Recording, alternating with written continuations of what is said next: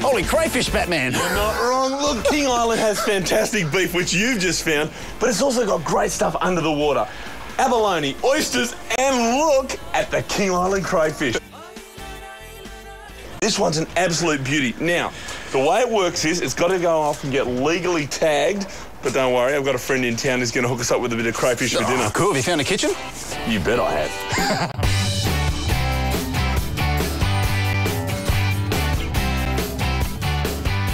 Well, you certainly found yourself a kitchen, Ed. Yeah, it's not bad, eh? I'm down at Portside at Grassy, which is on the south end of King Island.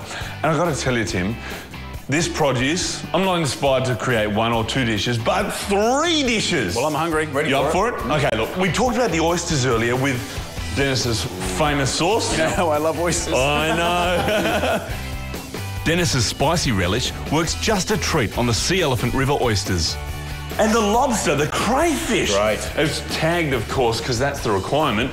We're going to do it old school with a Mornay sauce. Perfect. And the beef that you found. Scotch fillet, served over légumes français. Oh. French veg to you and me. Topped with a bit of King Island's ash blue. I reckon it's going to be just delicious. But the most important thing about the beef dish, we're using wallaby salami in the base. You just got to taste it to believe it. The King Island beef is perfectly paired with some locally grown vegetables. And to give it just that extra bit of hit, I'm using some cloud juice. It's a locally harvested rainwater.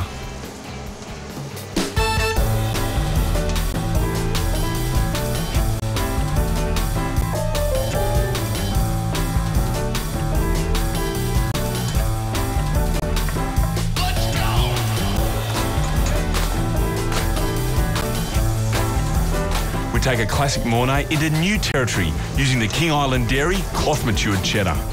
The secret to great Mornay is add the cheese once the sauce has come to a boil.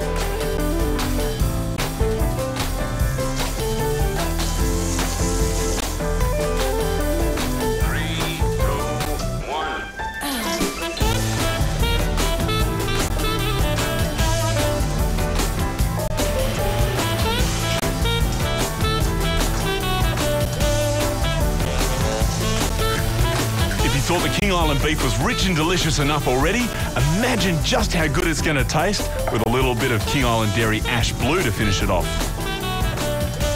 Well, there you go, Tim. What do you reckon, mate? Well, I know I helped a lot, but you have done an amazing job with this. Oh, no credit to me. It's all King Island.